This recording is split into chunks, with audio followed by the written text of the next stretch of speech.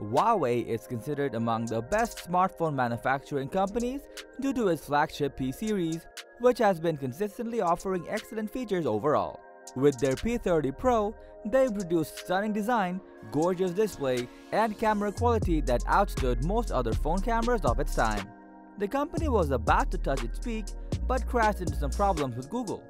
Gradually, these ended up in Huawei not being able to use Google services anymore. Last year, they launched the P40, which had a significant downfall and made Huawei more focused on developing their own operating system.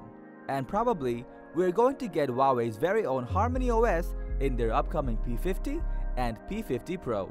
In this video, we will show you some rumored leaks that might be included in Huawei's next flagship P50 lineup. So without further ado, let's get started.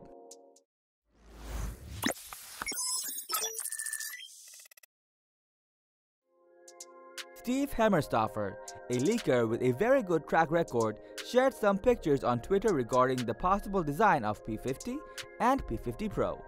The images show that the two phones are likely to have huge camera blocks consisting of enormous lenses. Both the phones come with a sleeker design along with much slimmer bezels according to the images. From the design, we cannot find any physical fingerprint sensor, so it can be assumed that there is going to be an under-display fingerprint sensor for the P50 series. Another Twitter leaker, who goes by Rodent950, shared a tweet that the standard Huawei P50 will have a standard, ultra-wide, and telephoto setup, while the Huawei P50 Pro will replace the telephoto with a periscope camera. Probably, the P50 Pro Plus might feature all the camera lenses as well as the time of flight sensor for taking portraits. The Twitter user also claimed that the upcoming device's camera might feature a Sony IMX800 sensor that can be great for high quality images and potentially better low light photography. Probably this is why the P50 has a larger camera bump for placing this larger sensor.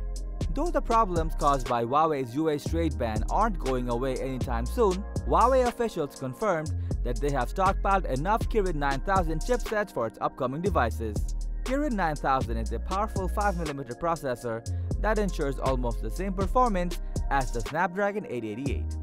So it is certain that the next P50 Pro is going to feature the same processor as its previous predecessor. Coming to the most exciting part, unless Huawei gets everything fixed with the USA, they won't be able to use Google Apps and services. According to Sina, a Chinese major news site stated that the Huawei P50 range will run Harmony OS as its operating system. We would expect the applications will be greater optimized with this Harmony OS and it will consume less battery, providing greater performances. However, operating Google services seems more convenient to many users, so we would hope Huawei to manage Google to run its services on the P50 Pro or develop its own app store that will be suitable for everyone. It is rumored that only the P50 Pro might come up with a 120Hz refresh rate, but we would want Huawei to provide the same refresh rate with all its P50 variant. These would make P50 more popular amongst gamers.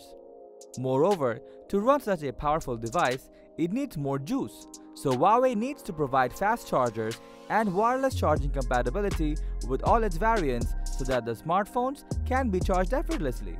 All that we shared are only rumors and yet to be confirmed.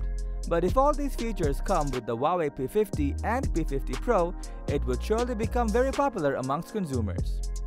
These were some leaks and rumors we knew about the upcoming Huawei P50 and P50 Pro.